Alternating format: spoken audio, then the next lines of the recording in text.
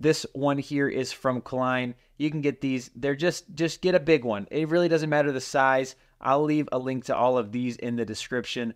But like the size doesn't matter as long as it's a thicker flathead. The Wera one is actually a chisel driver. It's actually meant to be beat on. This one is not, but it's what people use it for. All right, we all know. Everybody knows. It's got a really thick shaft to it. It's got a wide head, and it's uh, it's great for being beat on.